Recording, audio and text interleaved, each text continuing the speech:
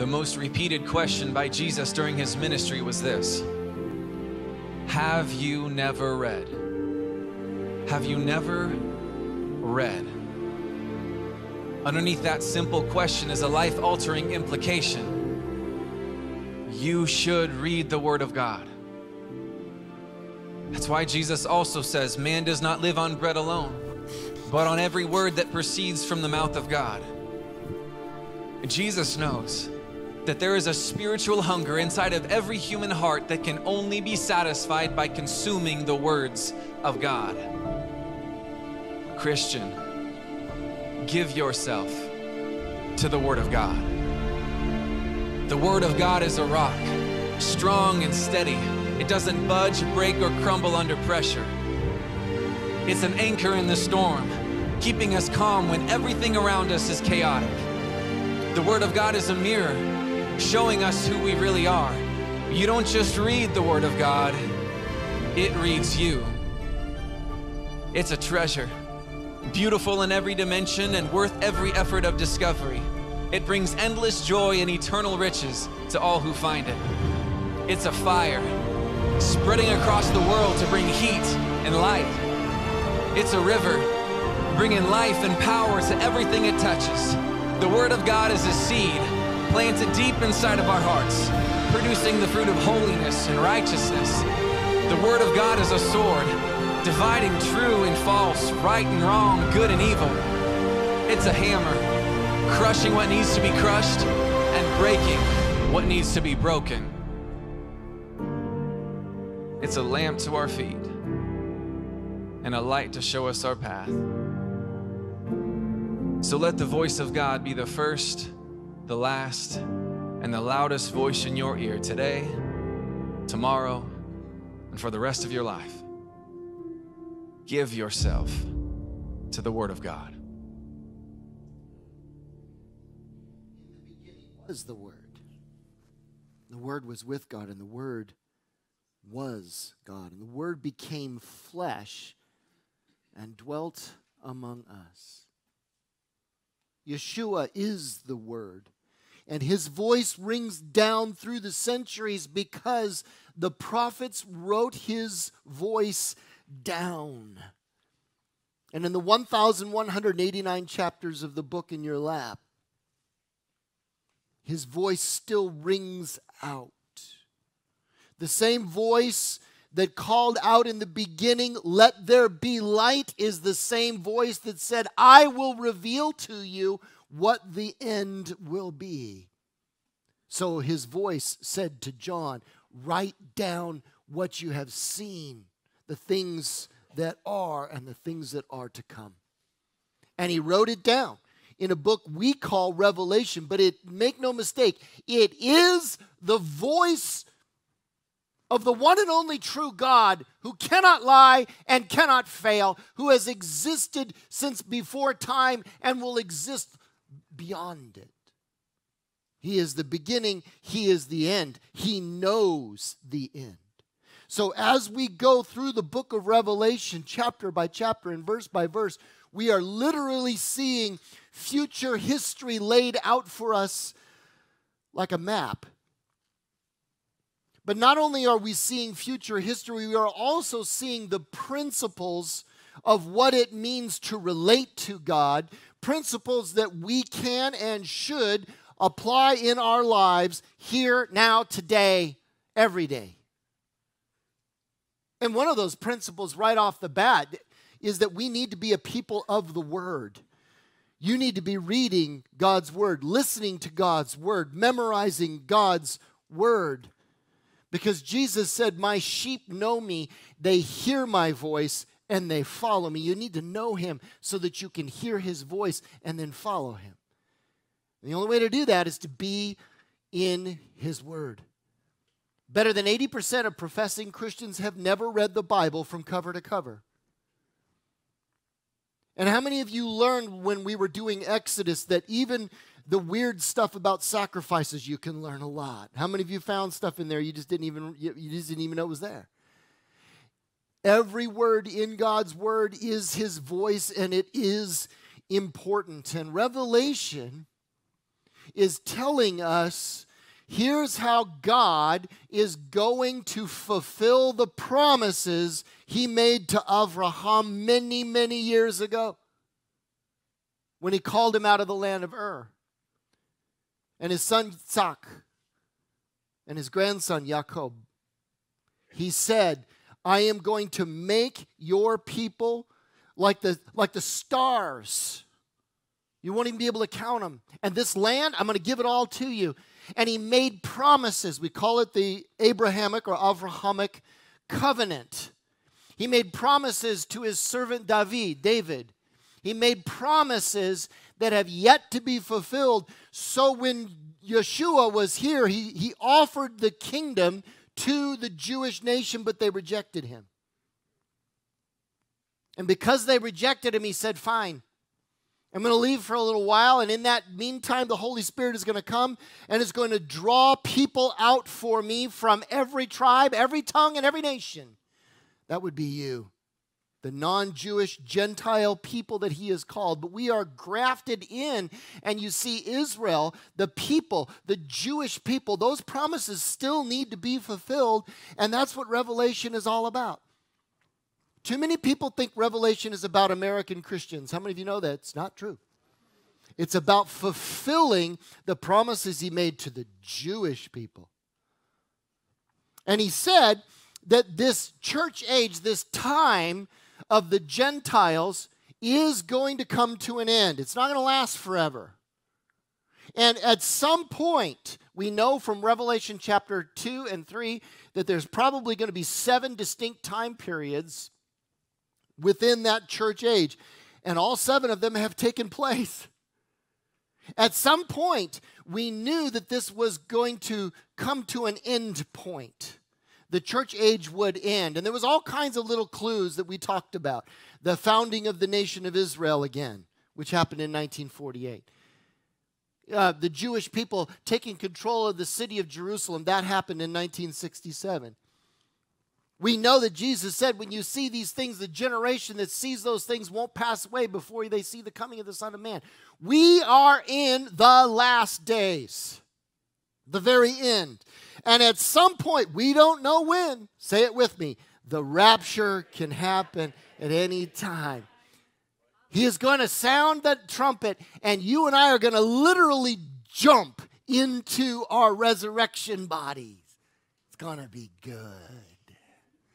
And in that moment, it will open up a time period of the judgments of God. Now, we don't know if there's a gap between the rapture and when the final seven year time period begins. There might be. But one way or another, during that seven year time period, 144,000 Jewish believers will be out preaching the gospel.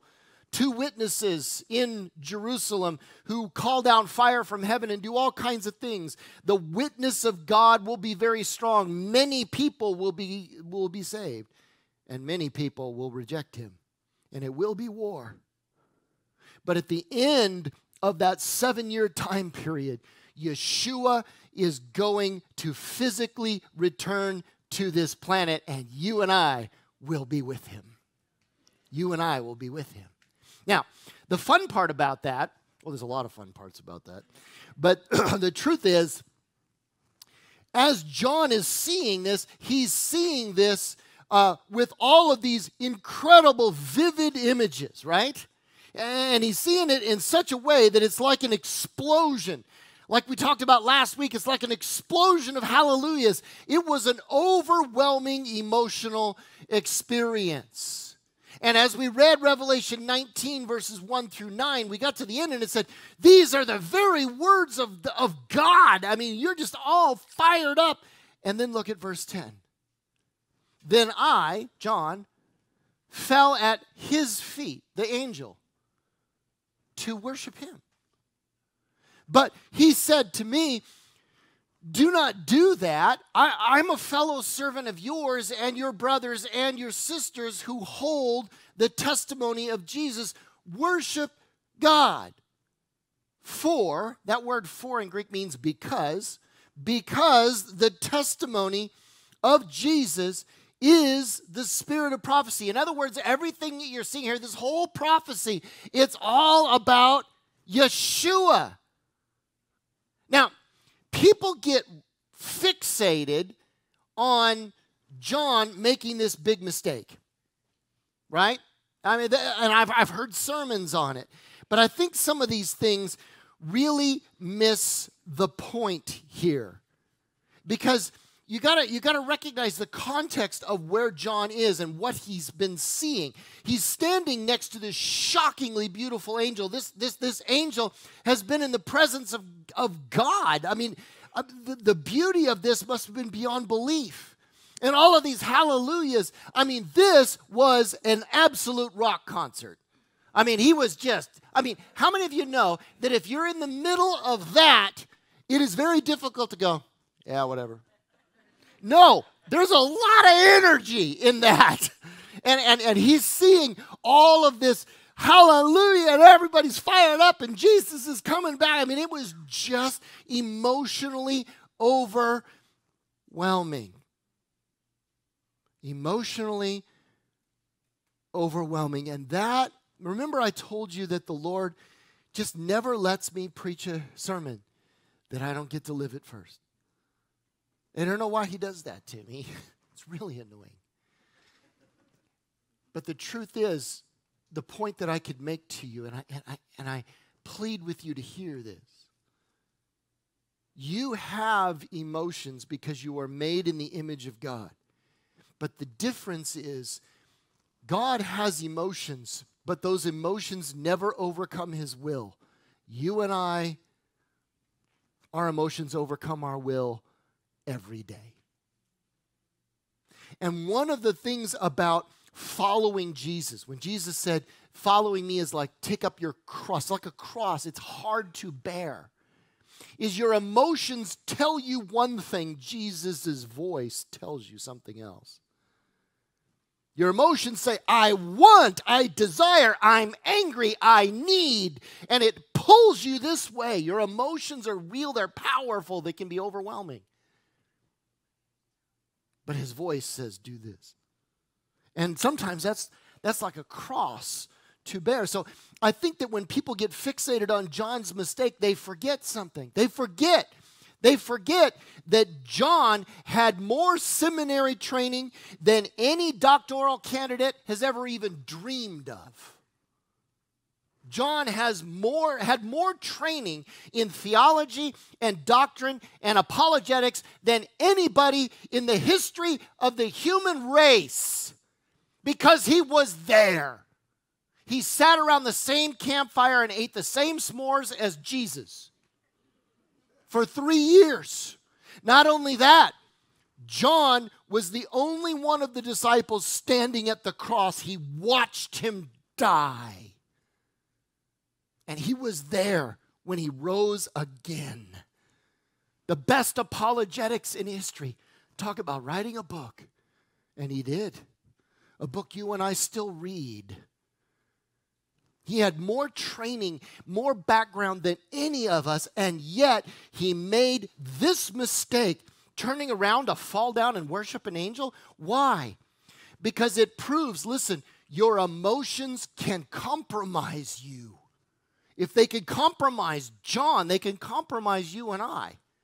We have got to be the kind of people that recognize when emotional intensity comes our way, we make sure we are listening to the voice of God. And I assure you, I assure you that the emotions are coming stronger and stronger and stronger because the persecution is coming down upon our people. I mean, just, just talking about what was happening to people I know in Canada, the emotions were so intense in me, I had to really restrain. I didn't do so good last night on that issue. I had to, I shouted at my own people. It was Billy. I'm sorry. And that's the point. Doesn't matter how much training you have. Emotions can compromise you. Now, of course, you're listening to that and go, well, duh, I knew that already. I didn't have to come to church to hear that. Yeah, well, if you know it, why don't you live it? oh, yeah, I think maybe I should be reminded of it. Yeah, we all need a good reminder because even John could fail. And what it reminds us of is that no matter how beautiful or amazing or emotionally intense an experience is, your first obligation is to listen to the voice of the living God that comes out of His Word to tell you what is right, what is wrong, what is good, and what is bad. Because there's plenty of emotional things going on within quote unquote Christian churches right now. There are things out there that I have seen on the internet that are supposedly Christian, but they're just emotional hype because they contradict what God's word says. So we need the same warning.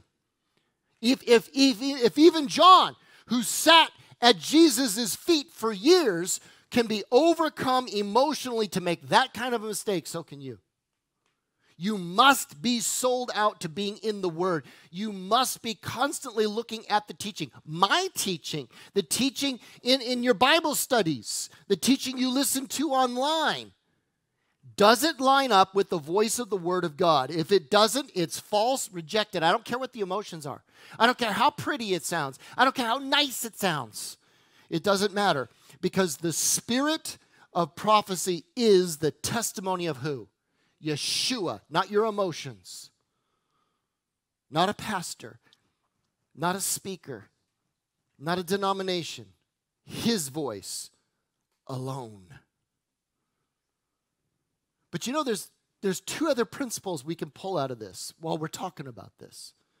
Now, these are principles that I'm pulling out of God's word. I'm just looking at what John did and how that was emotionally a compromise, and I'm thinking, you know, there's some other things that we could grab out of this. For one, you need to recognize that sometimes God will use a leader in a powerful way.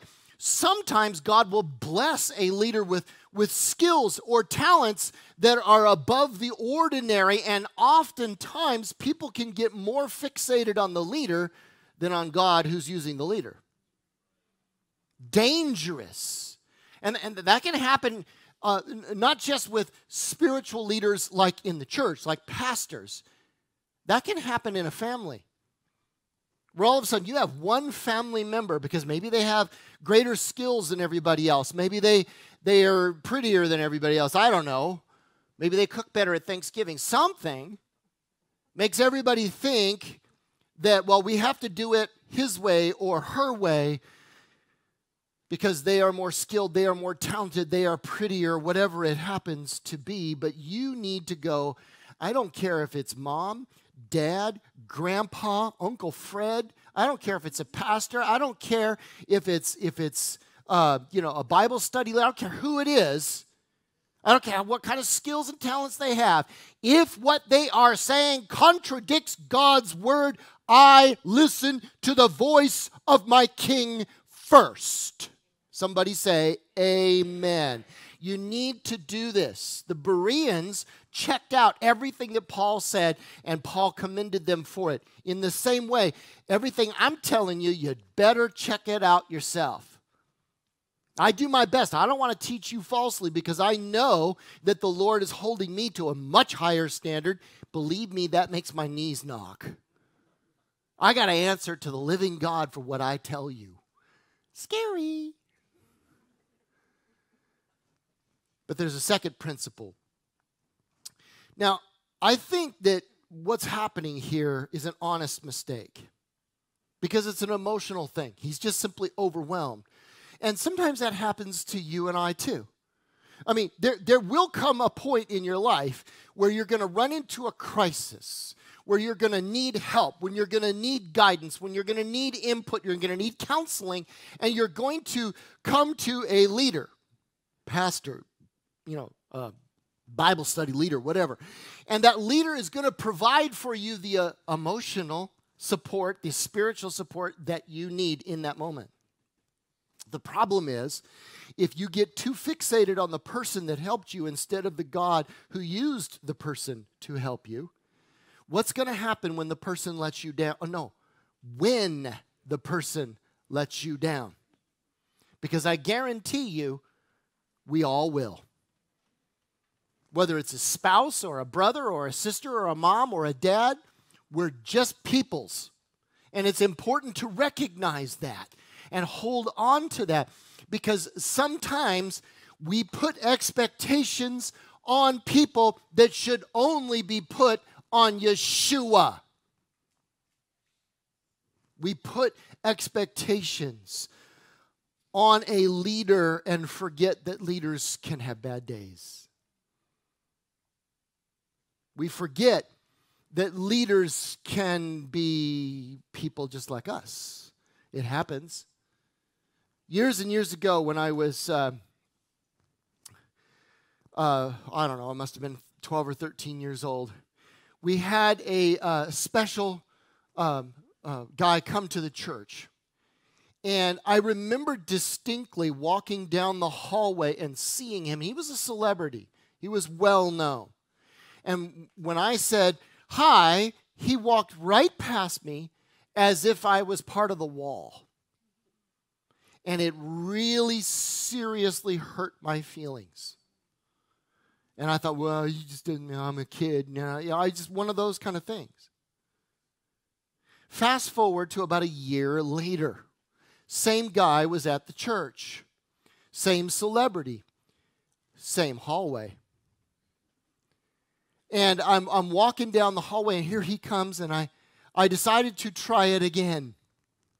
And this time, when I said hello, he stopped, looked right at me, and went, Well, hi, how are you? and shook my hand. And I, I was completely opposite to what happened the year before. And I went, what did I get older? Or am I, uh, you know, smell better this time? I mean, what was going on? And I said to something to him about it. I said, you know, a year ago, uh, I was walking down this same hallway and I said hello to you, and you, you, walked, you ignored me like I, I wasn't even there. And he goes, oh, I am so sorry. You know, he said, sometimes, because he was a musician, he said, sometimes I, I just get so focused on what I got to do. I mean, there's 3,000 people out there and, and, and I'm, I've got to perform in front of them in what, five minutes? He said, I'm so sorry, young man. I, I just was so focused, I didn't think about it. You know, that story has stuck with me all these years because it's reminded me of something. No matter how many skills, talents, abilities, no matter how much the Holy Spirit is using you, you're still a people. And people have bad days. And it's important for you to recognize this. Don't put expectations on me, on Melissa, on Doug, on Carrie, on Greg, on uh, whatever the leaders are here at this church. Don't put expectations on them that should only be put on Yeshua. We all have bad days. We do our best, but we're not Jesus. We just work for Him. And it's important to recognize that because sometimes people get seriously disillusioned about Jesus himself because of the behavior of a leader. They somehow equate what a guy up here is, well, he, he represents Jesus. Therefore, if he falls, Jesus must be bad. How many of you know what I'm talking about? You, you have a, a pastor that has some kind of a moral failure and, and, and it falls and it's all over the news and it's everywhere and it's horrible. And you have people that will literally say, Well, I'm done with being a Christian. Well, then you never were a Christian in the first place because you're putting your eyes on a person. Now, uh, look, I'm not trying to make excuses for moral failure. It's, true, our leadership in Christianity is held to a higher standard. But it is a higher standard, which means, guys, we can afford a whole lot of grace, couldn't we? Because we're held to a higher standard. It's hard. And we don't always get it. And, and I have literally had, Melissa remembers as soon as I say this, she's going to smile. She knows what I'm saying.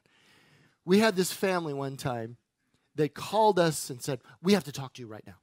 And we went down to Starbucks and they sat and proceeded to tell us why they were leaving the church because we didn't greet them in the hallway at church. Remember that? I mean, and, and, they were up, they were not a little upset, they were a lot upset. We were here back when we were, you know, pulling the stuff out, in and out of the trailer. And, and just because the church is getting bigger and, and, and now you're ignoring us when you go down the hallway. No, it's kind of like that celebrity pastor that I ran into when I was a kid. One time he saw me, one time he didn't. Why? Because he's just a people. And as this church gets bigger, I am not going to be able to go to lunch with every single person. There are more than 600 people coming to this church now. If I went to lunch with every one of you, it would take several years to get to you. It's it, uh, just be realistic about this. I plead with you on that because there's a lot of pressure. I'm not, I'm not just talking about me. I have a pastoral staff for a reason because I can't handle all of it, can I? That's why I got Doug and Carrie. That's why I've got Greg and, and, and Courtney. And it's why I got Paul and Bonnie. You know, I, I have Steve Alkire and Steve Long and Sherry Long. I have these people on this staff because Melissa and I can't do everything, but even they, I mean, still added up, that's what are eight, eight or nine people on my executive staff. How many of them can meet with everybody? They can't. How many of them are going to greet everybody in the hallway? They can't. We need grace too. Don't put expectations on us that should only be on Yeshua. And that, I think, listen, that I think is why the angel doesn't get mad at John. He doesn't get mad at John, he simply explains it. Keep your eyes on Jesus, John. You don't worship me, you worship God. It's all about Him. Keep your eyes on Him. He recognized that was an emotional mistake. And in the same way, I recognize that some of you get irritated or bitter because the church gets bigger and now you can't get my ear. I get it. But keep your eyes on Jesus.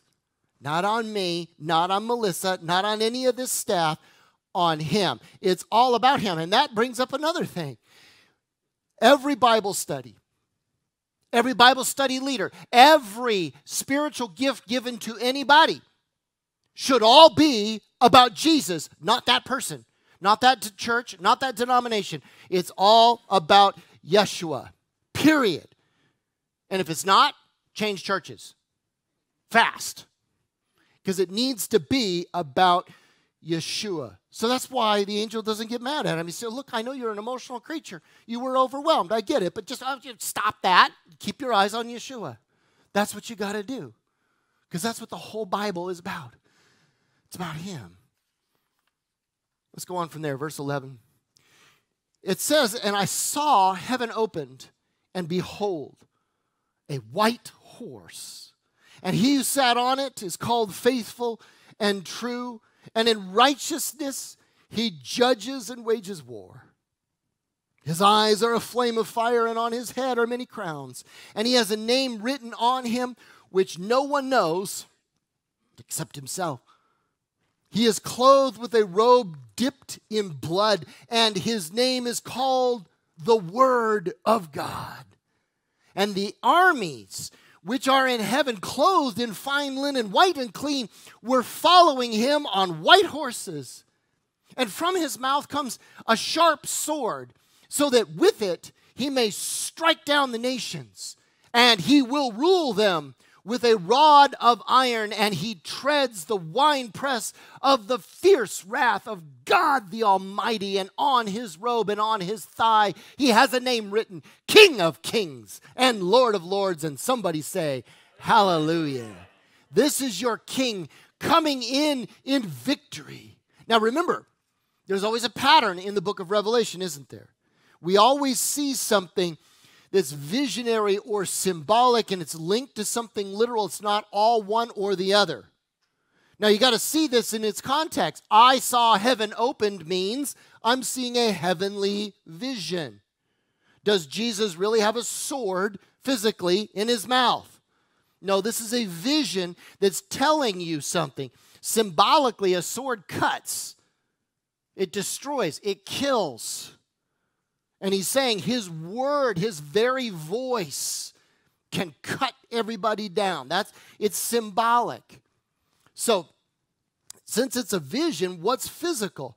The physical is the return of Jesus. We know this because we read back in Matthew uh, chapter 24. We also read in, in, in, all four of the Gospels how the, the angels said that when Jesus ascended, you see him ascending like this, someday he's coming back the same way. It's physical. What's physical is the return of Jesus. Now, the symbolism here, let's take a look at some of these symbols. The horse, the white horse. White horses in uh, ancient times were always symbolic of victory because the, the, the Caesars would come into Rome uh, after a, a battle that they had won riding on a white horse. So, this is a symbol of victory. The flames, whenever you see flames used in Scripture, symbolically, they are either judgment or purification, and sometimes both. In this case, you see eyes of fire, so you know that this is symbolic that Jesus sees clearly to judge, sees clearly to purify. That's what he's seeing. The crowns. We talked about crowns last week. The crowns, these particular crowns, is a different word here in Greek. Uh, last week we talked about the crowns Stephanos, which are victory crowns. This is a different one. This is diadema, which is um, uh, crowns of royalty, crowns of authority and reward. So when he returns, he's returning with all authority. God has given him all authority. And his reward is absolute victory. His judgment is 100% certain. That's what we are seeing. And the, the name, twice it mentions name. And whenever God repeats himself, it's important. The first name is a name that only he himself knows. Because you see, in the Bible, names represented the true essence of a thing or a person, which is why God would change the names of some of his servants. Do you remember this? Okay, Jacob, Jacob means supplanter, sometimes deceiver or even liar. But in his growth, Jacob grew up. And God said, Your name shall no longer be Jacob, it will be Yisrael which means he who wrestles with God. It changes his character, his essence. Avram became Avraham, father of many nations. God changed his name because his essence, his character changed. And the Bible says that the day is coming. Listen, we read it in earlier chapter of Revelation the day is coming when he will give you, you, you, you, all of you, his servants, he will give you a white stone, and on that stone is a name that only you and he will. It's your real name. And when he gives it to me, and I'm going to go, oh, put that in my pocket. That's mine. That's between me and him. A name that only I will know. Special and intimate and beautiful. But then he has a name that everybody knows King of Kings and Lord of Lords. Names. But you know, just as we see that these names have meaning, it reminds us that Revelation is rooted in the Old Testament. It's the fulfillment of God's promises to the Jewish people. So when it says that his robe is dipped in blood, people, I've looked through the commentaries and there was exactly two that went, wait a minute, this is actually a reference to the Old Testament.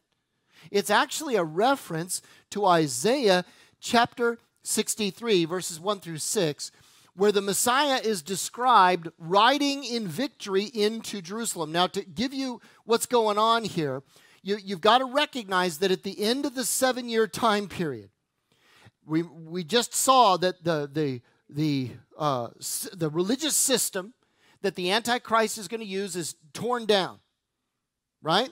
Then we saw that his capital city, his economic system, is destroyed. You remember that?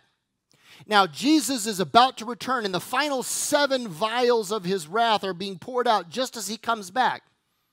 But in that moment, the Antichrist will know he has lost the battle. He knows he's lost, so he's going to lie to everybody. The Bible even talks about it in uh, Revelation here, where it says it's like frogs coming out of his mouth. You remember that? I mean, he's going to pour out these lies on his followers who have the mark of loyalty to him, and he's going to say, This is it. We have to go down and destroy the people of God, and he will attack in two places. He's going to come from the north into Jerusalem, and he's going to have a second arm that's going to come south up through Bozrah, which is what we call Petra now. These two arms of his army are coming in to try to destroy the people of God. They are literally going to break through into Jerusalem itself, taking over more than half the city just as Jesus returns. But listen, listen carefully. Jesus said to the Pharisees, the leaders of the Jewish people at the time, when they rejected him as Messiah, he said, You will not see me again until you say, Blessed is he who comes in the name of the Lord. Now, what did he mean? He meant that you, as the Jewish nation, have rejected me as your Messiah, and until you all say, Jesus is Messiah, you're not going to see me again. And that is coming. Right now, the Jewish people have been regathered into Israel, but they're regathered in unbelief. There are less than 20,000 Christian Jewish people in Israel today. Not very many. But the Bible tells us that after the rapture, these 144,000 are going to recognize Jesus as a Messiah and they're going to begin to preach. But during that seven year time period, how many of you know the Jewish people are going to continue to be stubborn all the way to the very end? But when they're down there in Bozrah, when they're when they're hiding out in Petra, and some of them are still in Jerusalem, and now the Antichrist is coming, he's attacking.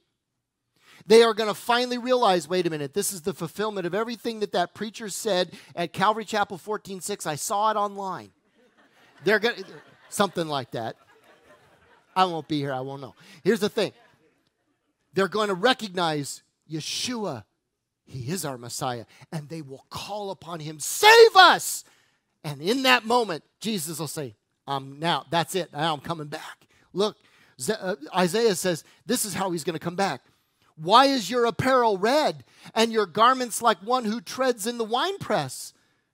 And Messiah responds, I have trodden the wine trough alone, and from the peoples there was no one with me. I also trod them in my anger, and I trampled them in my wrath. And their life blood is sprinkled on my garments, and I stained all my clothes. So when Yeshua returns, he will simply speak like a sword out of his mouth. You and I will be on horses and armies, and we're going to have swords, and it's all going to be just for show because we're not going to have to do nothing. We're going to be behind the king on his horse. All he's going to have to do is speak, and all of his enemies will be obliterated in a moment, in a just a flash, like a just imagine a cloud of red blood, just boom. That's what Jesus is going to do. And you and I are going to go, boy, I'm glad I'm on the right side of this horse. You know what I'm saying? Because we're just going to be there to witness. We're not going to have to draw a sword or do anything. It's going to be all Him. He has treaded all alone. No one was with me. He did it by Himself. He doesn't need your help. He doesn't need your help. See, if you belong to Him today, you'll be with Him in that great day. Verse 17 says, And I saw an angel standing in the sun and he cried out with a loud voice, saying to all the birds that fly in mid heaven, Come, assemble for the great feast of God, so that you may eat the flesh of kings, the flesh of commanders, the flesh of mighty men, the flesh of horses, and of those who sit on them, and the flesh of all people, both free and slaves, and small and great. And I saw the beast, that's the Antichrist, and the kings of the earth and their armies assembled to make war against him who sat on the horse and against his army. So they're, they're beginning to attack. Yeshua is coming in. You and I are behind him. And it says this angel was standing in the sun, and people, you know, the critics, they just go crazy on this. Well, if he was standing in the sun, you know, 93 million miles away, it's a big ball guy, that's stupid. You know, how many of you know an angel could stand on the surface of the sun if he wants to? How many of you know that? But I don't think that's what this means. I think this is really simple. If you, Dad, if you were looking up at the sun and I'm now in the sun because I'm in the way. That's all there is to this. Don't read anything into it. It's simply an angel up in the heaven that just gets in the way of the sun. It's just it's just that's all there is to it. But remember the pattern. We see something symbolic, we see something visionary and it links to something literal. So seeing that angel, that's what's symbolic. So maybe he was standing on the sun for all I know. It doesn't matter. The symbolism is he's calling for these creatures. He's saying that this awful judgment against God's enemies is going to be so horrific that every vulture on this planet is going to want to come to the feast. Ugh. And he's trying to get you to understand the true grodiness of what's about to happen. Everybody say grody. We need to revive this word. It's an 80s word. It's a good word. It needs to be revived. You need to use it more often. We don't want to lose it with time here because the judgments of God have fallen for seven years. The Antichrist capital city has been destroyed. The Babylonian religion has fallen. The Antichrist is making his last stand. He's attacking Jerusalem. In fact, it's going to be door to door. Look at Zechariah chapter 14, verse 2. It's going to get so bad. It says, I will gather all the nations against Jerusalem to battle, and the city will be taken. The houses plundered, the women raped, and half of the city exiled, but the rest of the people will not be eliminated from the city. Why? Because the Lord will go forth and fight against those nations as when he fights on a day of battle. The Lord will come back, and in that moment, his long suffering against the free will of man will end. Now, here's what I mean from the day that Adam and Eve sinned till this moment, God has been long suffering against the cruelty, the evil, the self centeredness, the greed of human beings because, in order to allow true free will, it has to be truly free. In order for there to be real love between God and human beings, they must be truly free, which means they must be really free to reject Him. And all we have to do is look at the history of the human race, and we can see the rejection of human beings is very real. And God has been long suffering with it all the way up till this moment. But He is done. He is done with the hatred and the bigotry and the persecution and the cruelty of men. And he will pour out his indignation on that great day, and you and I will be there to witness it. Verse 20. And the beast was seized, and with him the false prophet who performed the signs in his presence, by which he deceived those who had received the mark of the beast and those who worshipped his image. These two were thrown alive into the lake of fire, which burns with brimstone. And the rest were killed with the sword which came from the mouth of him who sat on the horse, and all the birds were filled with their flesh. Those who have hated God, those who have rejected him, those who have persecuted his people, those who have exploited the poor and crushed the needy in order to engorge themselves with luxury. The Lord God is done. He has done everything he can to reach the human race. Everything. Gone all the way to the cross to pay for our sins. Sent prophets that the people killed sent pastors who were persecuted, sent good Christians into the deepest, darkest jungles of all the earth. He has spread his message to the ends of the earth. He has done all that he can.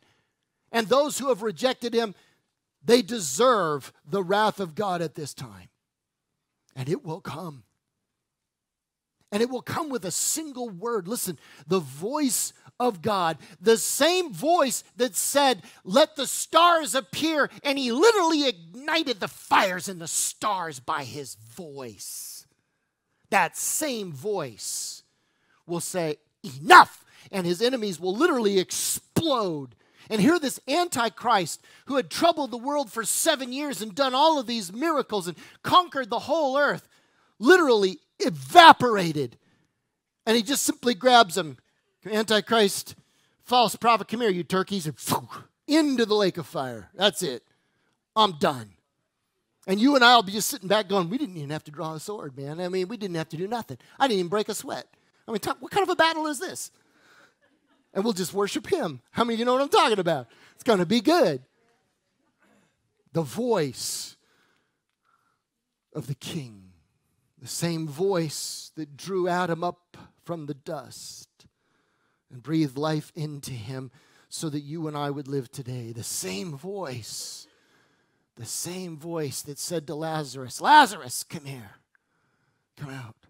The same voice that said, God so loved the world that he gave his only begotten Son, that whoever would believe, cling to, devote to him, would have eternal life. Same voice. And if you put your trust in his voice, he cannot fail you. He cannot fail you. And that's the key. The same voice of God that will someday destroy his enemies is the voice of God that can and will give you life today. So give yourself to the Word of God and live. Let's pray. Father God, we call upon you in Yeshua's name. For it is written, My sheep know me, they hear my voice, and they follow me.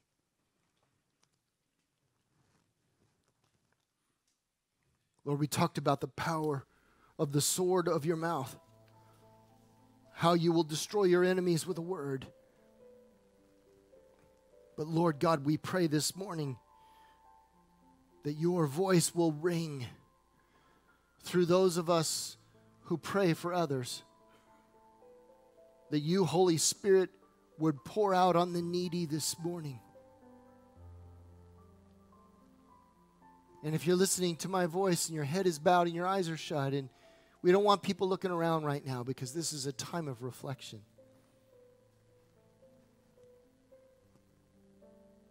If you hear his voice and it's calling you to make a commitment to him that you've never made before, you've been on the fence about this whole Christian thing. And you hear all this stuff about Yeshua returning, and you're afraid you're going to be on the wrong side of the horse. His voice is calling you. His voice is calling you. He's saying to you, Believe on the name of the Lord Jesus Christ, and you shall be saved. And if you have not responded to his voice yet, then you need to come up to this front and talk to these people here. They will pray with you, they will show you how to make that commitment. I don't have the gift of evangelism. All I can do is point you at Jesus. But if you need to make that commitment to Him, you come up here. But there's more. If you, as a Christian this morning, you've already made your commitment to Christ, but maybe you've been walking around feeling let down because one of the spiritual leaders in this house didn't greet you, didn't follow through. Somebody let you down and you're fighting off bitterness and irritation. You know, this week I had to counsel somebody hey, if that pastor hurts your feelings, why are you telling me? You need to go to them. That's Matthew 18. Yeah, yeah, yeah, I know, but it's hard. Yes, I know it's hard. It's emotional. Remember, John? Emotions can compromise you sometimes. Keep your eyes on Jesus. Do it His way. So if you've got a bitterness problem against a family member, against a spiritual leader, you need to come to the front and let these people lay hands on you so that the Holy Spirit can give you the strength and the power you need to go and make that right. Listen to the voice of the king. Maybe the voice of the king is saying to you today, there's something that has absolutely nothing to do with this sermon at all. And you need to come to the front and get on your face, on your knees before him. Then you need to listen to his voice because it is written, My sheep know me. They hear my voice and they follow Make sure that if God is calling you to apply what you heard today, that you don't leave this place the same way you came in.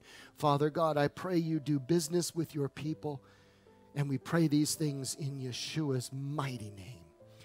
Amen.